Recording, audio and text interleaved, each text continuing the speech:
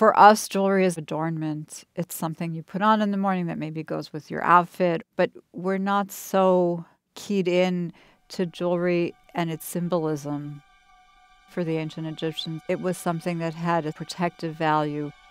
This is the pendant of a necklace that belonged to a woman named Sithathoryunet. We don't really know very much about her. She lived about 1880 BC. She's called the daughter of a king, so we know that she was a princess. The women of the royal family had a very important role in how the king's afterlife would be formulated. This piece actually doesn't have her name, but in the top in the center is the name of the pharaoh Senwosret II. She may have been the daughter of this king. We have these very beautiful falcons, which represent the god Horus. The king himself, when he's alive, is the god Horus. And Horus is sitting on these round signs which reflect the sun encircling the world. They're a symbol of eternity, they're a protective symbol. Hanging from the cobra, these two Ankh signs are symbols of life. At the bottom, we have this little kneeling figure, the symbol for the word million, holding the symbol years around the elbow is a tadpole, which is the numerical symbol of a 100,000.